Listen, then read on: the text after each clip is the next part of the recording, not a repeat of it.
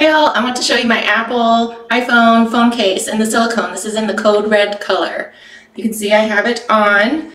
All the buttons have a slot. You can still use the on-off button. The raised parts of the case line up with the actual side buttons on both sides. It is MagSafe. Let me take the case off for you. You can see the MagSafe logo. It has the Apple logo on the back.